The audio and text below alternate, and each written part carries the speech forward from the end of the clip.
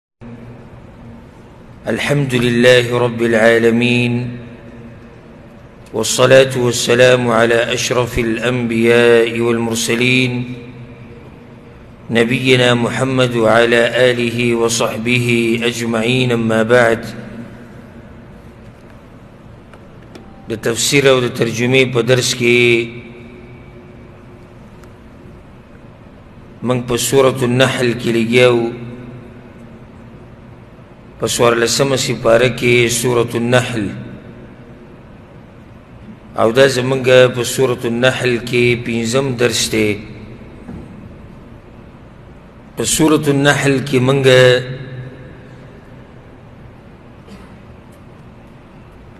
په آخرنی درس کې نه پنځوستم نمبر آیت ته رسېدلي په دې اخیرني آیتونو کې الله سبحانه و تعالی خپل شان بیان کو چې الله غزاد ته چې هر مخلوق دغه په مخ کې عاجز دی او ټول مخلوقات الله ته سجده لګي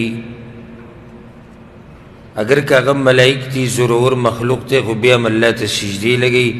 او د الله په مخ کې عاجز دي دغه شان چې کله مصیبت راشي نو مشرکان بیا صرف یو الله را بلي او چې کله الله یې دغه مصیبت نه لري کي نو بیا د هغه سره نور برخداران هم جوړوي مشرکانو کې بله بیماري ده چې الله دپاره بچي ثابتوي او په بچو کې ورلم بیا لونه ثابتې وی ملائک ته الله لونه یي په هغوی باندې رد وشو او د هغوی حال الله بیان کو چې په خپله کله دوی ته د لور ویلی شي چې لور دې پیدا شوې ده او د لور زیری ورته میلاو شي نو خپلې څه حال یې الله غم بیان کو د هغې نه بعد الله سبحانه وتعالی وایي په شپېته نمبر ایت کې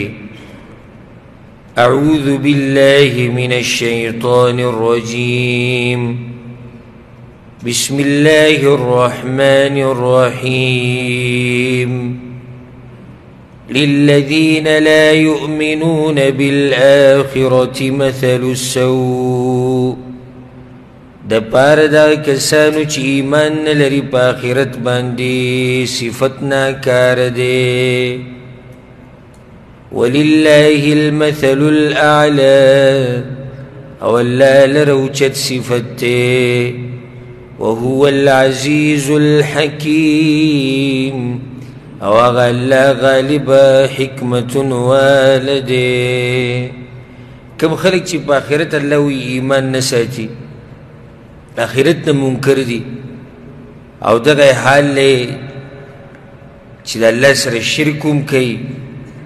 نو الله وایي د دې خلکو دپاره مثل سو دی بد صفت دی د دوی حالات یې بد دي ناکاره حالات دي د دوی صفت هم بد دی حال هم بد دی عقیده هم خرابه ده عمل هم خراب دی او بیا چې الله سبحانه وتعالی دی نو ولله المثل الاعلی د الله دپاره خو اوچت صفت دی اوچت شان دی څومره د کمال صفتونه چې دي هغه ټول د الله دپاره دي الله دپاره اوچت صفات ښایسته نومونه دا ټول د الله دپاره دي هغه الله زورور او حکمتونو والا دي اوس ګوره د مشرکانو شرک ذکر شو که نه او دومره ظالمان دي یعنی داسې شرک هم نه چې د الله دپاره بچی ثابتوي او بیا بچی هم لور وله ثابتوي او دا به وي زموږ دپاره زامن دي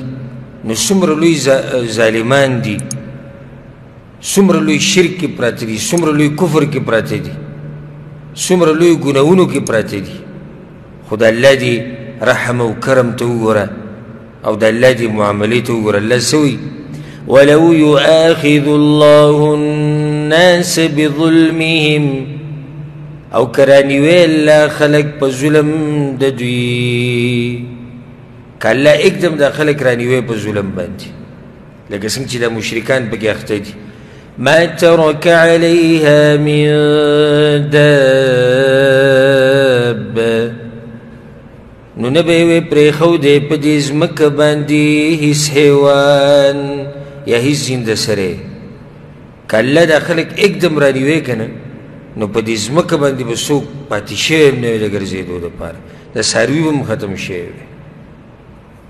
اوس زما او ستا دې ګناهونو ته وګوره پرېږدې زه مشرکان پرېږده د هغو خو غټ ګناهونه او غټ کفر و زما او ستا دې ګناهونو ته وګوره سهار ماښام زموږ دې ګناهونو ته وګوره که چېرته الله ډایرک موږ په دې ګناهونو رانیوې نو څوک به پاتې شوی هېڅوک هم نه پاتې کېدی هر انسان ته خپل ګناهونه معلوم دي هر انسان ته خپل حال معلوم دي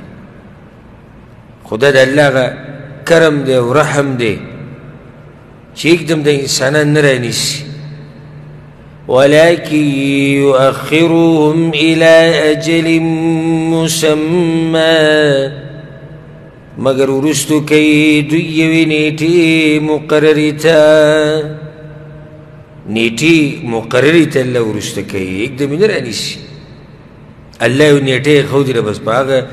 هغه نیټه چې راله بیا به پته ولګي نو الله ولې د انسانان دې نیټې پورې پرېښودي دي دا موقع د انسانانو ته او الله سبحانه وتعالی یو چانس ورکوي که دوی را واپس شي دي ګناهونو نه الله وایي زه به یې وبخښم او که دغه نیټه پوره شوه هغه نیټه د مرګ یا نیټه کومه مقرره چې د عذاب ده یا د قیامت نو بیا توبې وبې نه قبلېږي بیا اوس خو الله موږ له موقع راکړې ده که د الله رحم دی موږ یکدم راونیو په ګناهونو باندې وخت یې راکړو موقع یې راکړه ژوند یې راکړو وایي زه توبه وباسه خیر دی زه واپس شه دي ګناهونو نه خو که دا نیټه پوره شوه او دا روح د مرۍ ته راورسېده یا قیامت راغی یا عذابونه رالو د الله نو بیا دې توبې نه قبلیږي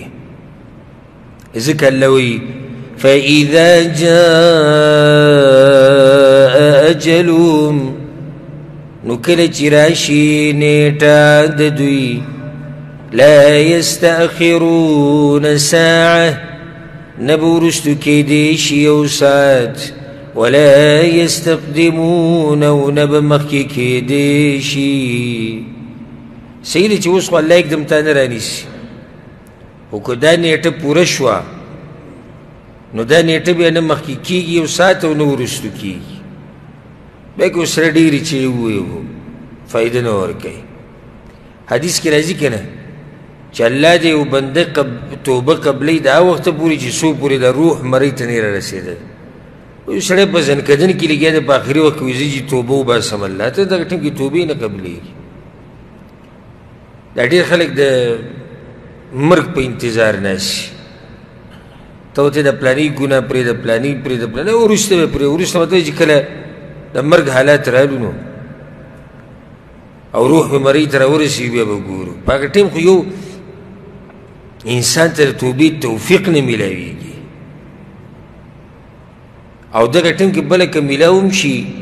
طاقت وسرې او توبه وباسي توبه ول الله نه قبلوي چې کله دا روح مرۍ ته راورسي او یا دا بس که په دې انتظاري چې نور به د مغرب نه راوخیږي لکه څنګه چې د قیامت په علاماتو کې یو نښه ده چې نور به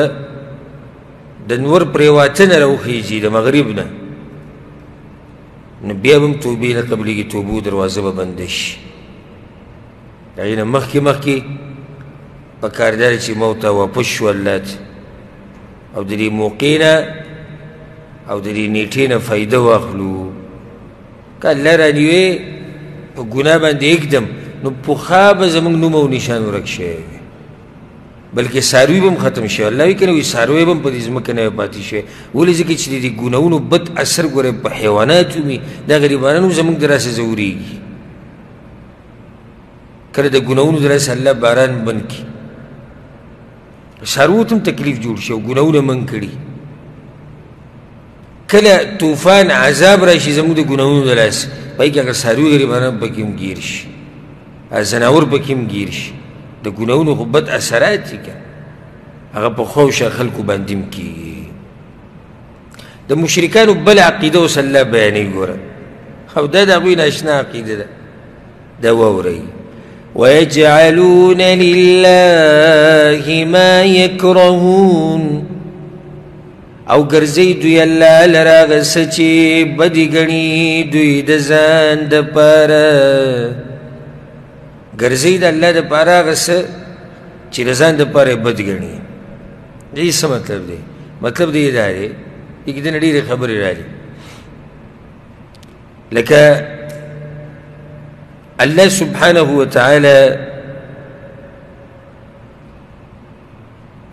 یو انسان له مال ورکړی او جیداد یې ورکړی نو دا سړی د ځان سره شریک ښه ګڼي که بد ګڼي بد ګڼي که نه ښه د الله دپاره یې ګرځوي وایي جي پلانې چې کوم دی پلانې بابا دا وایي جي د الله سره برخدار دی د الله سره برخدار دی وای صحیح شو زه تا سره په دې جیداد کې برخدار یم وجني دي والله ټوپک د اسرائیلي وجني دي زما په ځمکه کې ته سوي چې زه ستا سره برخدار نو ته د الله په بچی کې د الله سره د پیر صاحب څنګه شریک کړی د الله په بچای کې د الله سره د کاڼي او ګټي او ونی او تعویذونه او باباګان او پیران او مریدان او درګاونه او دربارونه او هر څه د الله سره شریک کړي دي هغه هیڅ خبره نه ده یو معنی دی دا ده چې د الله د پر هغه شی ګرځي چې خپل ځان د پاره بد ګڼي نو په خپل شریک نه خوخی په دې نه دی راځي چې زموږ سره زموږ په مال کې هم د دوی په شان انسان دی شریک شي انسانان خو به یو شان دي کنه د ځان په شان انسان د ځان سره نه شریک کوي او ظالم راولګېدو د خالق سره مخلوق شریک کو څومره لوی ظلم یې وکړو بله معنا دې دا ده د ځان د پاره جنکی بدی غنی او د الله د پاره چې به بچی ثابتې او ریاض بالله نو د الله لونه دي نو کوم شی چې کوخت هغه د ځان د پاره کو ها او چې کوم نه دی خو هغه د الله د پاره کو الو په دې کې دنه ګوره مسلمانانو تم یو درس او عبرت پروت دی چې د الله د پر باغ سور کې چې ستاسو ځان د پر خوخي غریب راشي आवाज وکي وګه ما فقیر یما د وګوره کې چې د زړی ډوډۍ پرتی ويجعلون لله ما يكرهون کم شي دې بدی شي دغه الله شو ځا کمی جامې ده سورې شي وی دی او په بد حل دی دا روان دا وی دا الله په نوم صدقه کړی ځند پر به واري دا جامې کې تاله زه دقې شان دوړلم او سورې او لنډې او تنګې او په بد حال ته به یې زمانه قبولې کړي وایي نه چې زه خو زه زو زو دومره سپک یم چې دا علمه نو بیا د الله دپاره څه ورکړي ته یې ځان دپاره نه خوښوې د الله دپاره ورکړې دغه شان بعضو په دې بچو کې چې کم کمزورې یو د کار نه وي وایي دا چې موږ د الله دپاره وقف کړی یو چاړه به یي غریب به خولې نه لاړي احساسي کمه کوي دا دا موږ الله له وقف کړی الله غیرتی ذات ته ستاسې دې صدقې ته دې کمزوري شي نو د الله ضرورت نه لري که ته د هر څه راولې او الله له ورکې الله ورته بیا هم ضرورت نه لري او دا تا سره اخیستي دي دا کم بچي ذهن چې تیز دی هغه سکول کې سبق وایي هغه چې پایلټ جوړېږي او هغه ساینسدان او سیاستدان او هغه دا او دا کم چې کمزور دی ګډ دی شل دی چاړه دی لیونی دی ادې به قرآن وایي د قاري صاحب سره وایي دا موږ الله له وقف کړی ویجعلون لله ما یکرهون لن تنالوا البر حتى تنفقوا مما تحبون الله وایي دا هغه وخت پورې تاسو ګورئ د نیکۍ هغه اوچت مقام ته نشي رسېدی چې څو پورې هم د هغه څه نه خرچنۍ کړي کوم چې ستاسو خوښي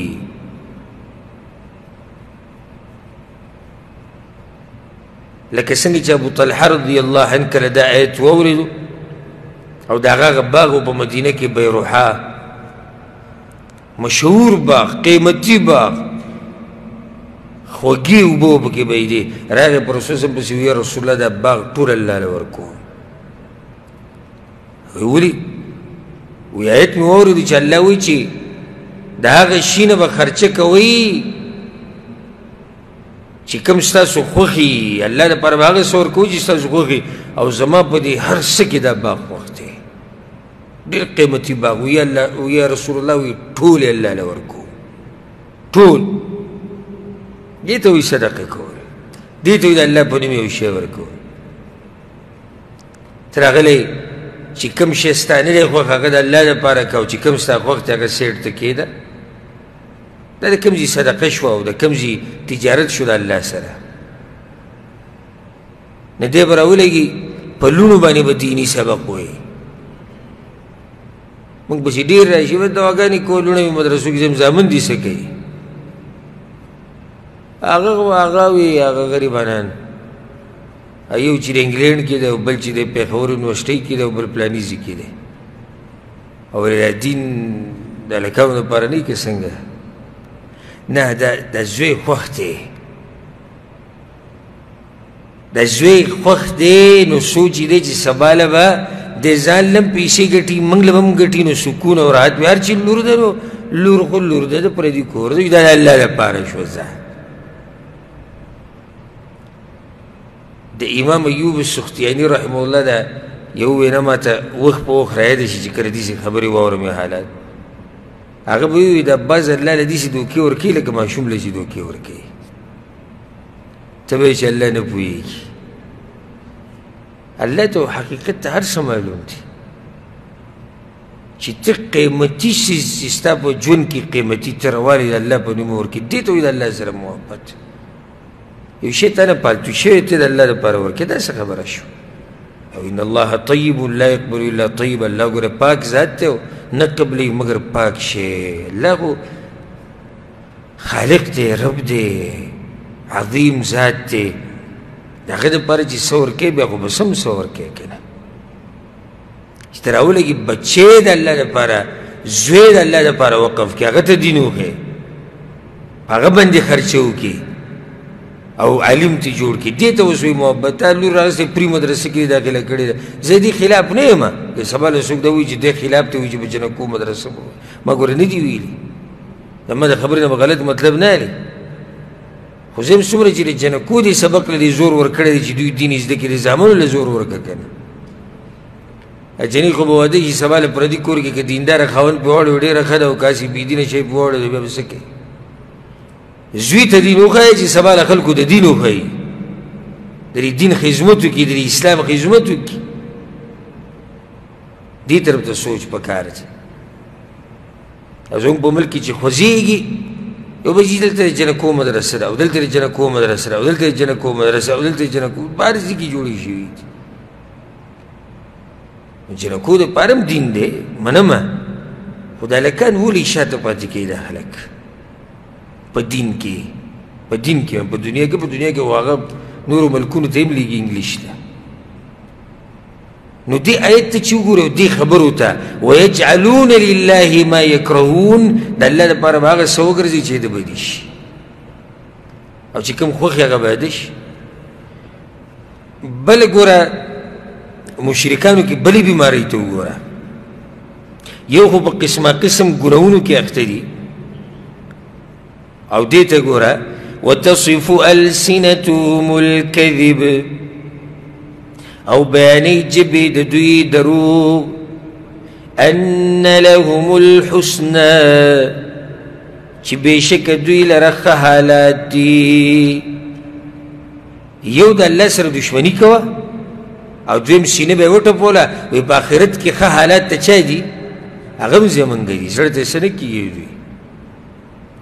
لکه يهودو به سوي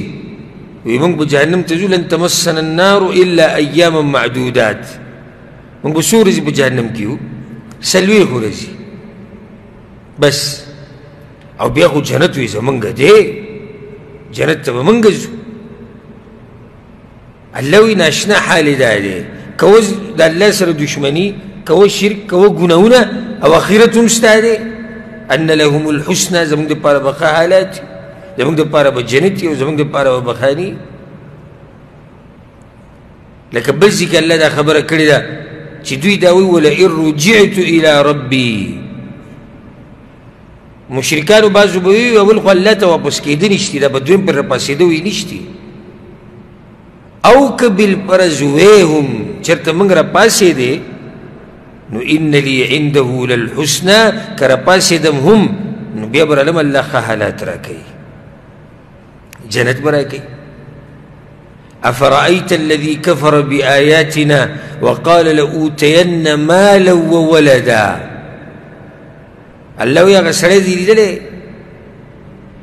چې زمونږ د آیتونو نه انکار کوي او دا وایي ماله به ما ته به بچي ملاویږي او ما ته به مال ملاویږي او ما ته به په آخرت کې هم ډېر څه ملاویږي عجیبه خبره د الله سره دښمني کوو بیا دعوه هم دا کوو چې په آخرت کې ما ته هر څه ملاویږي نو ځکه لو چې وتصف السنتهم الكذب د دوی جبې د دروغ وي ښه حالت خو په آخرت کې د هغه چا دپاره دي چې د ژوند تیر کي د الله د شریعت مطابق د هغوی دپاره ښه حالت دي مشرک دپاره خو جهنم دی انه من یشرک بالله فقد حرم الله عليه الجنه چا چې د الله سره څه شی شریک کو کنه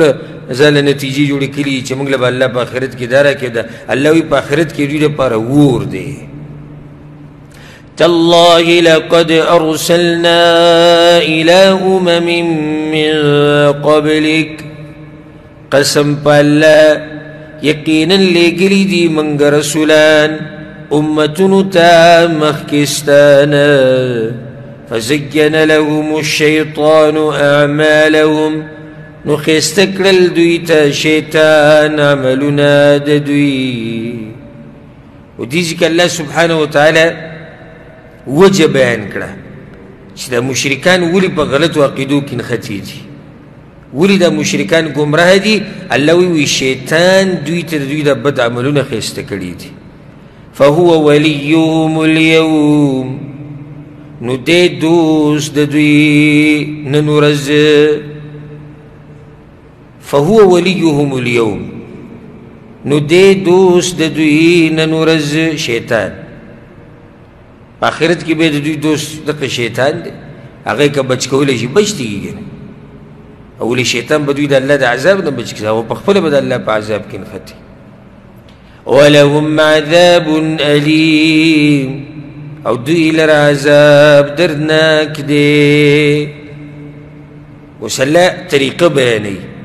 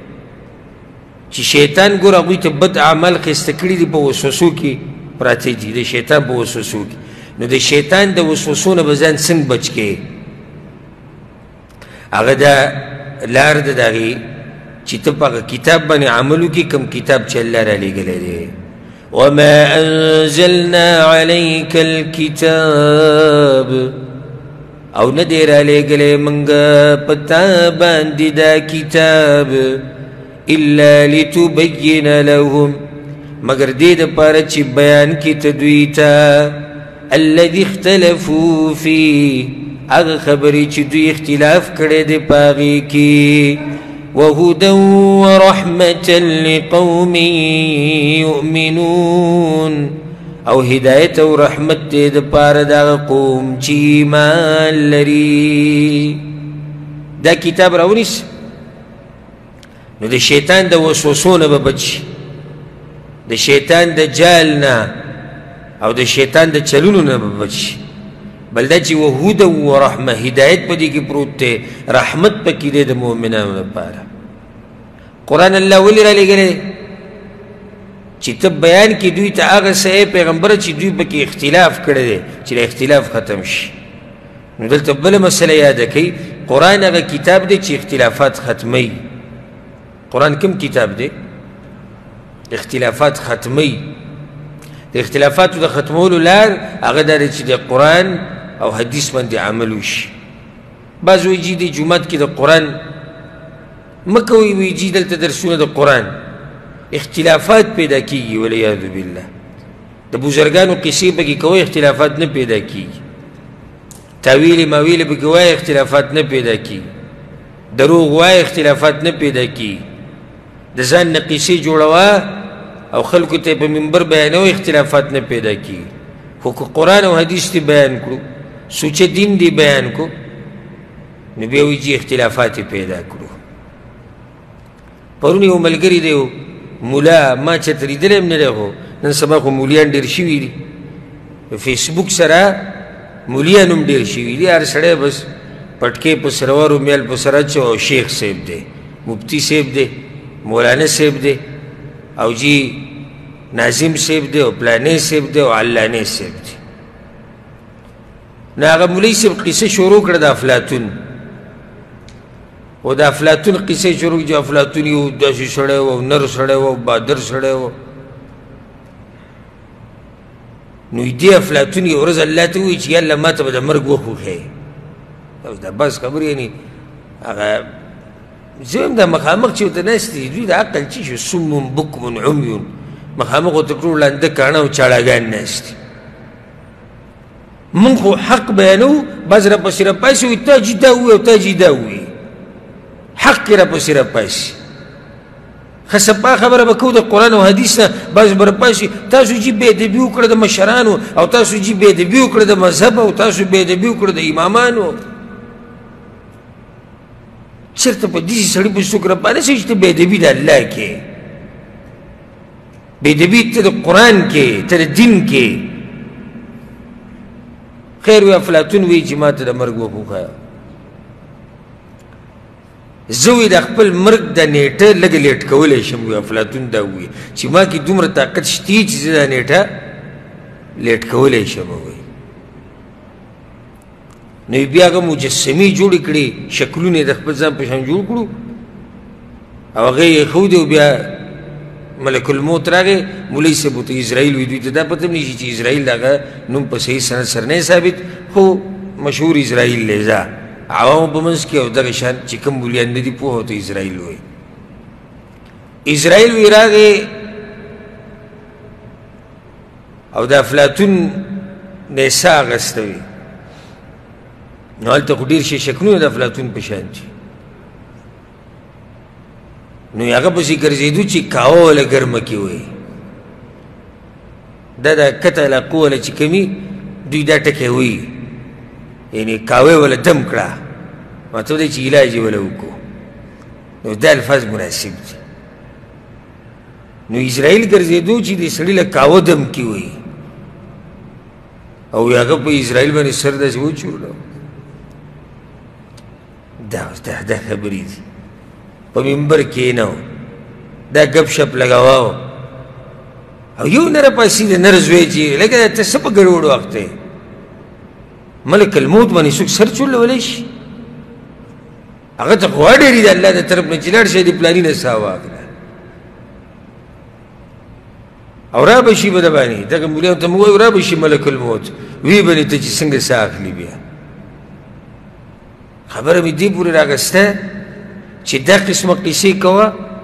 د قسم ډکوسلی بیانوه د قسم منګړت قصې بیانوه او کله وای د پیغمبر د قبر په خوا کې پلانې نه شو مدینه کې بزرګ نه شو اول ته پلانې نه شو الله نه شو دا قصه سبحان الله سبحان الله وكزر والا اعوذ بالله من الشيطان الرجيم بسم الله الرحمن الرحيم او الله داوي يا رجي تدي سكارو كدا خبر النور مكوا اختلافات پیدا کیږي خد الله خبرې پرېدم ته وی جی دې سکارو کې دا حدیث حدیث ته ډېر وې دا پرېدا د حدیثونه پرېدا د پیغمبر خبرې پرېدا خد بزرګانو قصو کې دې څه خیال اخو جی زمونږ د ملا تیرې دا غو بیانوا ماته اوس ویلو کې نیو پیر ما دیو مولوی صاحب سره خبرې رالی نو یو مولا کتاب مې ورته وښو چې پای کې شرکي الفاظ شرکیه صریح شرک پکې وو صریح او دا مولا انډیانو د انډیاو نو ما هغه مولوي صاحب ته مې او خلک راجمع شوي ډېر پاکستان کې ما انډین مولا په خپل کتاب کې دا وایي انډین مولا نو کتاب کې مې د شرک ته خبره کړې ګوره وجر الله سره شریک شتي داغه مولوی صاحب ماته وی چې ته لږ په ادب کې خبرې کوې انډین چاته وې مې انډین هغه چاته ویم چې د انډیا دی دې کیسې دي ما په دویم پیر بیا وی په دریم پیر بیا وی مې انډین مولا دلته د لیکلي ما ته بل دین ته به واوړې ورې اټکه برابر وای نو مې څه ووایم وزیر پاکستان مشروع وزیر پاکستان مولا کسی د سوات یې مې سړی د سوات مولا او بیا مې وی مې زما د انډین او د پلاني او علاني سره کار نشي خو صرف مې ستا غیرت معلومه و د انډین مولا د الله په توحید باندې ډاکې اچي تاکي غیرت نه راځي حکومت صرف غینډین ته انډین وینو ته سور شین شوی نو د الله د پر غیرت کوي د الله د کتاب د پر غیرت کوي د پیغمبر د حدیثونو د پر غیرت کوي اختلافات ختميږي د الله په دې کتاب سره اختلافات ختميږي د پیغمبر صلی الله علیه وسلم د حدیثونو سره نو الله دې موږ پوه کړي په قرآن او حدیث باندې اوس الله سبحانه وتعالی به بیا د خپل عظمت دلیلونه بیانوي چې څنګه چې ما الله وی څنګه چې ما دا وحی در لېږلی دا قرآن او دا پیغمبر مې در لېږلی دی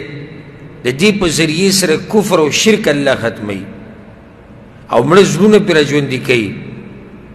نو اوس الله سبحانه وتعالی دې ځکه خپل شان بیانوي چې وګوره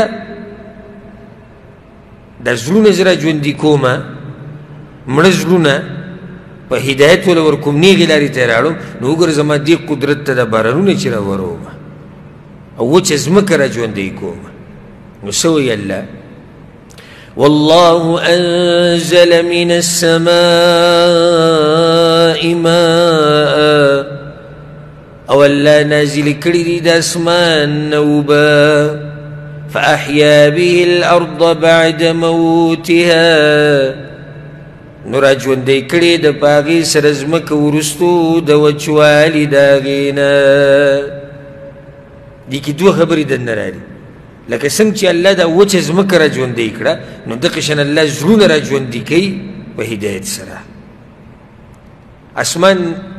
بر طرف ته دی اوبه د اسمان نه راځي د بري نه راځي که نه نو دغه شان دا وحي د کوم ځای نه راځي دا هم د بري نه راځي اسمان نه اوبه راغلي ځمکه را ژوندۍ شوه دا وحي چې راله قرآن او حدیث د دې سره زړونه را ژوندي شو د شان په دې کې دې ته هم اشاره ده الله وایي څنګه چې زه دا مړه ځمکه را ژوندۍ کوم نو دغه شان زه به دا مړیم په دویم پیر راپاسوم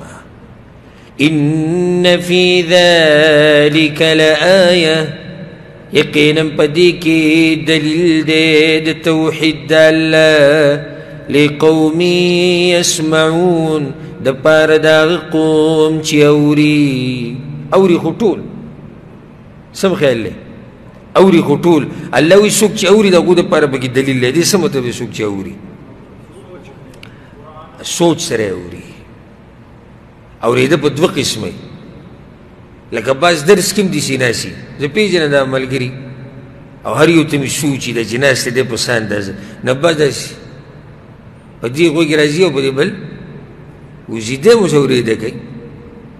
ناست او چې دې دروازې نه بار شي نو ماذا قال آنفا یاره دا شیخ صاحب څه وي نو ته جومات کې نه وي ناست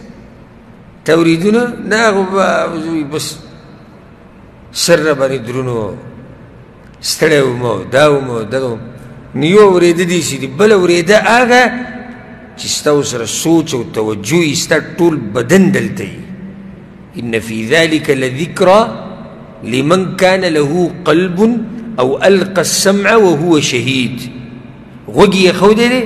خو سره دویمه خبره وهو شهید الله وی بدن هم د قضی کې دی زړه هم په دغه ځي کې دی نو بیا غوږ یې ښوده فایده ورکوي او که ته غوږ یې ښودې خبرې ته لکه اوس ته مسله وینو ته ما ته ګوري دغه شان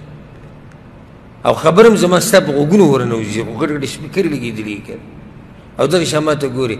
او سبا مزدورۍ له به ځو او هلته به څه چل کوو الله او القى السمع وهو شهيد وهو شهيد په دې مجلس کې چې چې زړه دې په دې مجلس کې نه وکنه نو د دې بدن دې فائدې نشته بدن خو ته پوره بدن راوړی لکه ابل زموږ مسله بیانو لکه قیامت په علاماتو کې چې خشوع به ختم شي کنه نو موږ هلته څه چې سړی بدن راوړي ها او زړه کوم ځای کې پرېږدي زړه بهر پرېږدي د دې منځه مطلب څه شو الله ته ولاړې صرف بدن دی ودرولی دی بس او سوچنې ټول بهر دي داسې منځونه الله قبلې هم دی نو ځکه دلته الله وایي چې کوم خلک چې اوري مطلب چې اوري په غور سره په توجه سره زړه سره استعمالوي نو دا خلک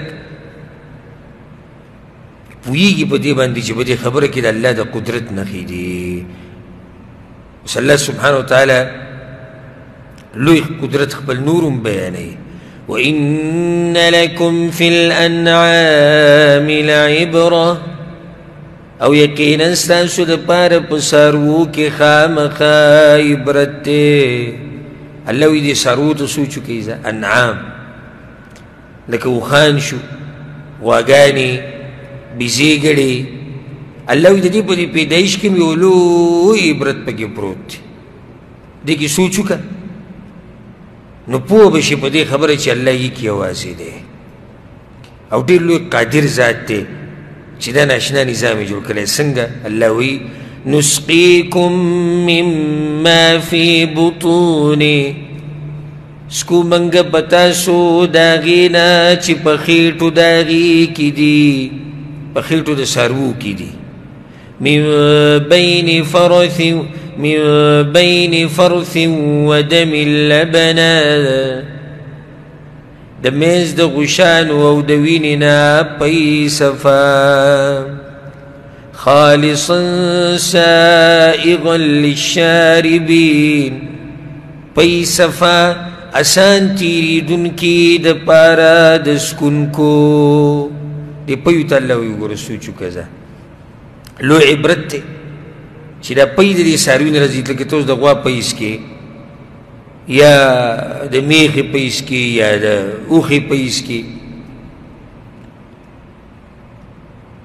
نو دا پی الله وی را روان دی من بین فرث و دم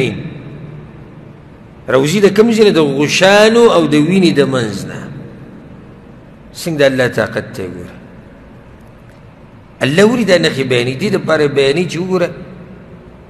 دی الله سره شرک کول او د ده سره شریک جوړول ظلم نه دی یو الله دومره قادر ذات دی چې د ساروی نه پی راوځي او تیته چې دا پی رارسي نو څنګه راځي خو د غشانو او د وینې په منځ کې راتېرېږي که نه خالصه صفا سائغا للشاربین په مرۍ کې نښلي هم نه دا پی ښه په اسانه تېرېږي نو یو خو د الله د قدرت ته سوچ که دویم دې کې علماو اشاره ده دې ته هر سړی دا غواړي چې ما څنګه پیوس کړم صفا کله چې دا پی روزي او ته ساروی ودرې او پی ولی شي تک سپین پی صفا هر سړی چې دا ما صفا وس کړې که دنه پکې ویښته یا وینه یا غوشان پکې ولګي یا نور څه پکې ولګي نو خوښوي بیا الله وی وی دقه شان زم سوچه دین خوښوم څنګه چې تاسو سوچه پي غواړئ که او سوچه پي ته خوشحالېږئ الله وی زمام سوچه دین خوښ دی هغه دین چې د اسمان نه راغلی دی قال الله قال الرسول الله سوی او د الله رسول سوی دغه دین د الله خوښ دی د ملاوټونه او ټانکې پکې مه لګوئ اصل د وحي چې راغلی د پیغمبر صلی الله علیه وسلم راغلی لکه هغه کوم ځای کې مکه او مدینه نو چینه او بنیاد هغه مکه او مدینه و سوچه دین دلته و د دې ځینې بیا دین لاړ هغه زمونږ هندوستان ته و پاکستان او افغانستان او د خواوشا د علاقې نو کله چې د چینې نه اوبه روانې شي بل ځي ته ځي نو په لاره کې ورسره ګندګي مکس کېږي که نه مکس کېږي نو چې بیا هغه کوم ځي ته چې رسۍ هلته چې رسي جو پکې ډور ډېر شي نه پکې نور شریک شي خو که ته هغه بنیاد له راشي کوم ځای کې چې هغه چینه ده کوم چې بنیاد دی د کوم ځای نه چې اوبه راوځي هلته به تا ته صفا اوبه میلاویږي نو که صفا دین غواړئ قرآن او حدیث ته به راځي هغه زموږ ملکونو ته چې دین را رسېدو د صوفیانو ماتوریدیانو اشعریانو او او دې قسمه قسم ګمراه فرقو پکې ټانکې د ځان نه لګولي دي نو سوچه دین هغه قرآن او حدیث دی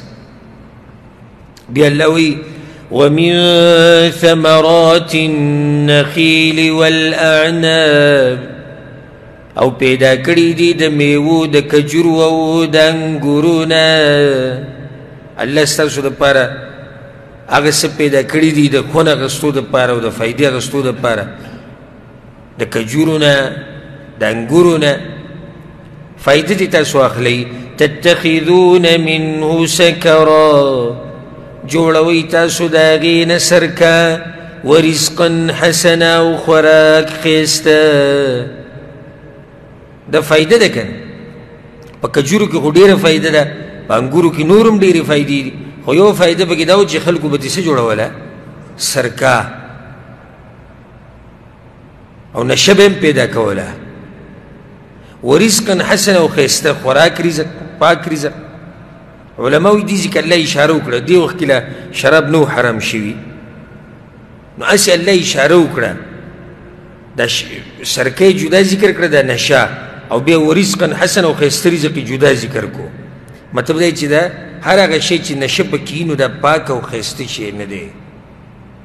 هر هغه شی چې نشه پکې وي نو دا پاک او ښایسته نه دی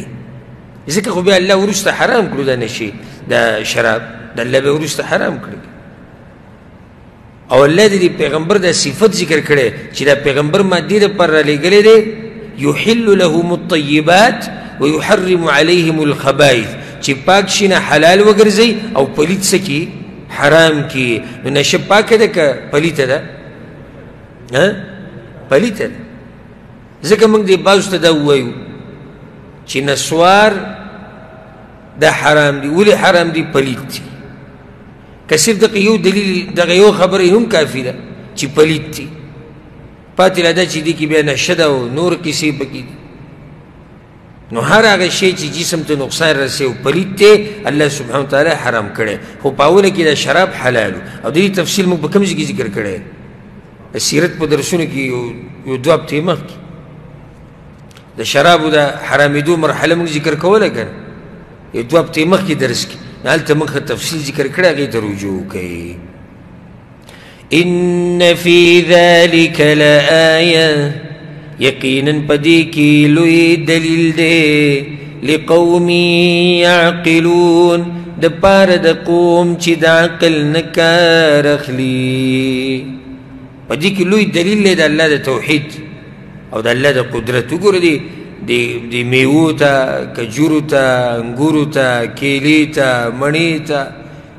ناشنا ناشنا میوي الله پیدا کړي دي چې د ټول دلالت کوي د الله په توحید باندې او د الله په قدرت باندې ګوره دلته الله ویلي قوم یعقلون هغه قوم د پاره پکې دلیل چې د عقل نه کار اخلي د عقل ګوره اوچت نعمت دی خو چې استعمال کړی شي اوس تا بند ساتلی دی په تیلۍ کې د سره استعمالی نه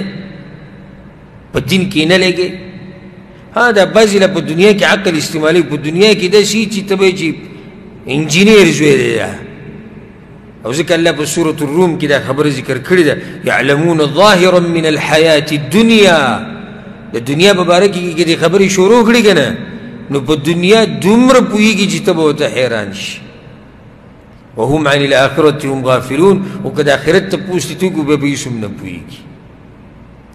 د عقل د استعمال کې د الله په دین کې دین فائدہ واخلي علم یې زده کوي مسلې یاد کوي قران یاد کوي کدی یاد کړي مراجعه وکړي حدیثونه یاد کړي مسلې یاد کړي دی وخت نه دی هر څه نه فائدہ واخلي سبا له بمړ پروت خلک به دوا کوي چې چاته به دې مسله خولي علم به دې خور کړي خلک به دې یادې په دې ګوره څوک نه یادې چې مزدوریان یې ټیټ کړي دي ګوره او یا جیداد دې ډېر ستا به څو جیداد دي غټ غټ بادشاهان د دنیا نه تلي تلي که نه تلي غټ بادشاهان څوک یادې بلکې موږ ته معلوم هم نه دي کم کم بادشاهان تلي پته هم نه لګي او علما تللی دي پوخا د نن زر کاله مخکې او دولس سوه کاله مخکې او دیارلس سوه کاله مخکې علما مړه شوي دي غریبانان وو دنیا اوس هم ډېره نه وه او د اوسه پورې خلک یادوي وي الله دې وبخي الله دې وبخي د علم برکت دی نو د عقل استعمال که خپل د دې دین دپاره یې مسلمان په دې دین کې په کار راوله دا د عقل به خاورو له وړي ها که چینجو له دې ساتلی چې چینجي په قبر کې راولی کی او بل دا رته وایم بعض ملګري وایي زما عقل بند دی دا خبره یاد ساتئ د دې داسې مثال لري د عقل لکه غباره کوپنۍ چې وته وي دي کې چې ته څومره چوف کې د غټي پلني کی اوس سړی کوپنۍ راوړي او یو چوف پکې وکړي او بس بې پریدیار وي دا نه کېږي نور نه کېږي نور ځینې شم کو نه زور ورکه چې څومره پړسې نه پړسېږي دغه شان د عقل له چې څومره استعمالې دومره د تکړه کېږي چې څومره په دې عقل او ذهن باندې ته کار کوې که نه دومره دا غټېږي کولوي سوچ یې ډېرېږي نو هغه د دین په باره کې تا بن ساتلي دي په سورې فاتحه یو سړي ته یاد نه وي اخرني لس سورتونه ورته نه یاد نو دې د عقل په څه کې استعمال کړی یو نیم ملګری تاسو ویني تکړی یا تکړه عالم ویني مسلې ورته ډېرې یادي سړی ورته وپسخېږي یاره چې ماشاءالله وګوره څومره مسلې دې عالم ته یادې دي څومره ښکلی دین بیانوي څومره ډېرې خبرې درته معلومې دي نو دا یاده کړي دا خبره چې دا عالم هم ستا په شان انسان دی عقل دی خو هغه عقل نه فایده اخیستې دی استعمال کړی دی ته یې استعمال کړه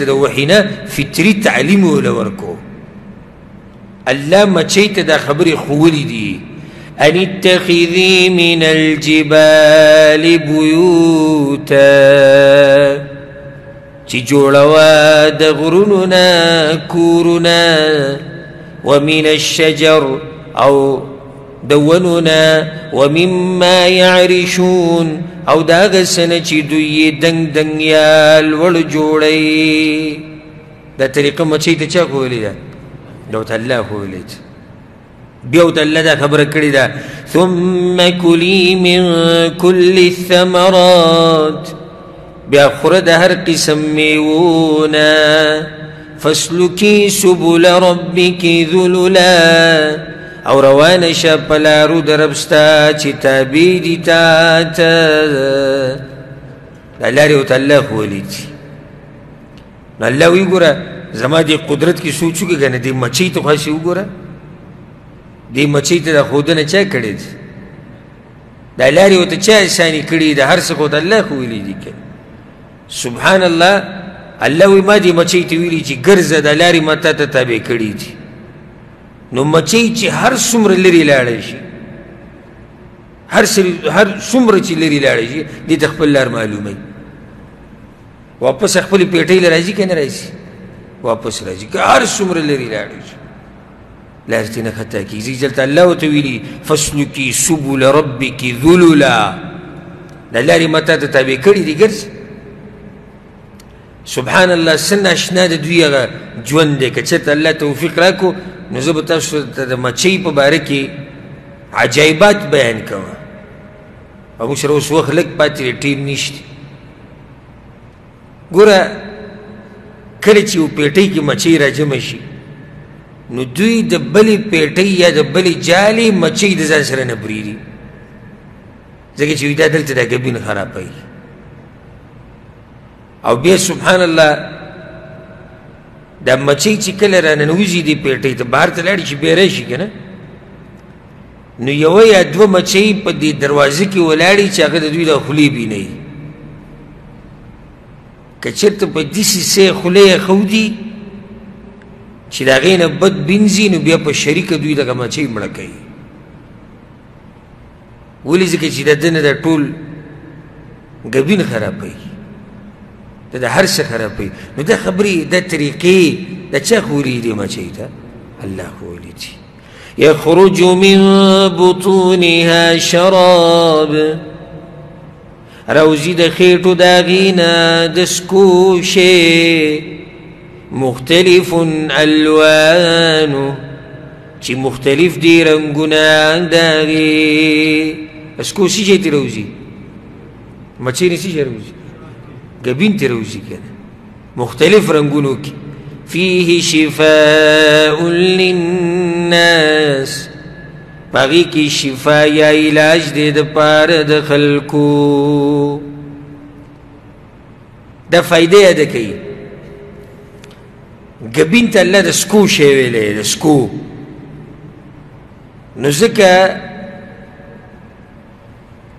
امام شوکانی رحم الله دې خبرې ته اشاره کړې ده وی د علم طب نه دا خبره واضحه ده او د تجربو نه معلومه ده چې ګبین ال ډیره فائدہ ور کوي چې کله دینه سره جوړ شي شربت تی جوړ شي چې شربت تی جوړ شي نو دې کې بیا اثر زیات شي اگر که اسی وخوري دې کې فائدہ ده خو کوفته د دوايي سره ملاو کې بلې دوايي سره اوبو کې بل څه شي کې ګډوډي کې ویس کې نو په دې کې به شفا ډېره الله فيه شفاء په دې کې شفا ده حدیث کې راځي په صحیح بخاری کې ده الشفاء فی ثلاثه الله شفا چولې په درې شنو کې فی شرطة محجم خکر لګول وینه ویستل جسم نه او شربت عسل یا ګوټ د سشي د ګبین دلته هم ګوټ ویلې شربت یعنی او کیت بنار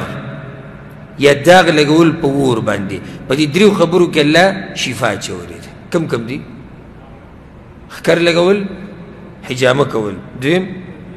ګبین سکل او دریم داغ لګول په ور سره په دې کې الله شفا چولې او د دې دریونه نن سبا خلک چې هغه لري چې په دغه انګریزي دوایانو پسې ګرځي او دا صحیح حدیث دی بخاري کې چې الله په دې کې شفا چولې نو د ګبین استعمال ډېر کوئ